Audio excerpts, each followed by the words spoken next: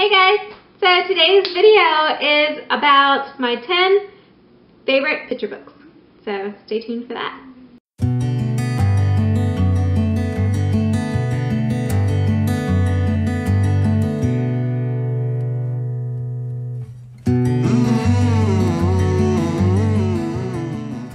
Hey! So I am not doing this in any particular order. It's just however I lined up in my pile is what is going to be the order of our video. So I'm going to go ahead and start.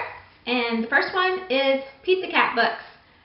Any Pete the Cat books is our favorite picture books. So I kind of cheated a little bit. We love um, we love the audio. Like I will put the CD in the back and stick it in the Xbox for a special treat. But I mean, usually I just read it out loud to them which they love. They love the predictability of it. We've listened to them so many times that they know the words pretty much. So, and another one that goes along with that is We're Going on a Bear Hunt. We've read this so many times that I don't even need to look at the words anymore. It just, it's embedded into my brain. And this is one I have to put away after I read it once that week. I put it away because I cannot read it any more times. Once a week is my limit now. I mean, because I've read this book so many times.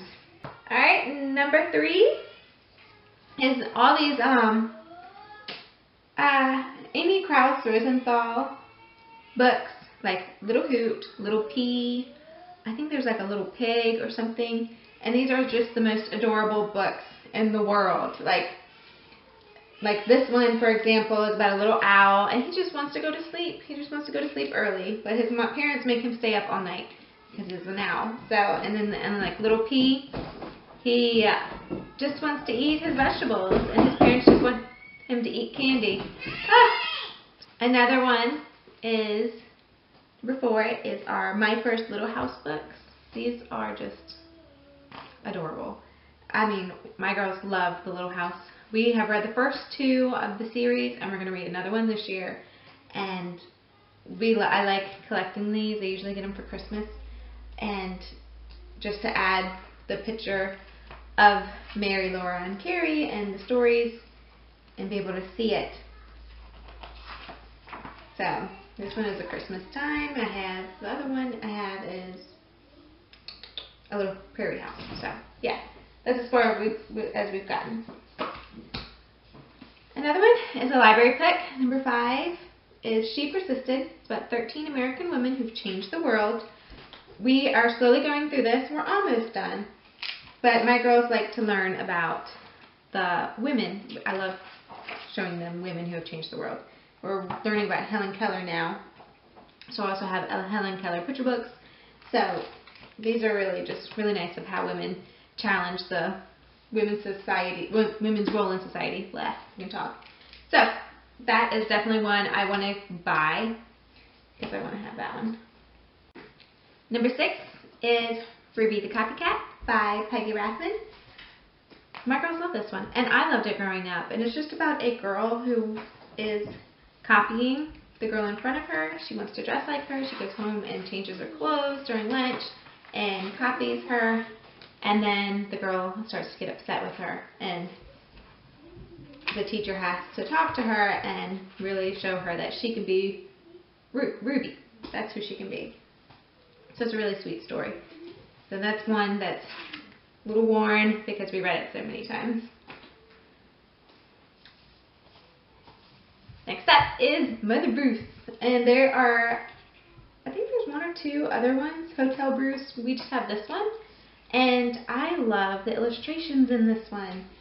It's so, I love the darkness and just how deep the illustrations are. They're just so pretty and it's so funny. So such a funny story that, I mean, the girls just adore Bruce. And it's about a big bear who is like a gourmet, he likes gourmet foods, and so he gets these organic eggs from Mother Goose, and they hatch on him, so of course they think he's the mama, and he tries to chase them off, and just a really cute story. Okay. Number eight is Maple by Lori Nichols. I believe this is a series. I think there's two other ones that I really need to get because we love maple.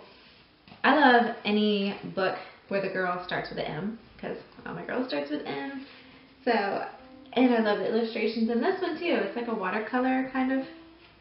I'm not good with picking out the art, but it's just, it's really light, it's really simple. I love all the white space, which is a really contra big contrast to Mother Bruce because there's not a lot of white space in that. But this one is just adorable instead of a little girl and her maple tree. her name is Maple and she has a maple tree and she gets a little sister. So, named Willow. This is definitely one of my favorites along with the girls. Number nine is a unicorn named Sparkle. It's about a little girl who wants a unicorn, so she wins one or she buys one, or yeah, she buys one for 25 cents. She imagines this big, majestic unicorn and get a little goat unicorn who drives her crazy, so she wants to send it back. And yeah, it's adorable. The illustrations, once again, I love, I'm a sucker for some good illustrations. I think those are key. And I like stories with word, just one or two sentences per page. You know, I don't need a huge paragraph um, and a huge read aloud for bedtime for my picture books. I mean, I have enough with that with our chapter books. So that is definitely a favorite of ours. And last is Do Princesses Wear Hiking Boots? This is really just a really simple book. We are a hiking family. We love to be outside. And this is just about a girl asking her mom, do princesses play in the dirt? Do princesses have to do their chores? Do they drink sparkling punch? Do they cry and make a fuss? And mom's like, yep, just like you do. So, yeah, this is definitely a favorite. And We like reading this once or twice a week. So, yeah. Comment below with any of your favorite picture books. I love finding new ones to add into our rotation. So, yeah. Thanks. Bye.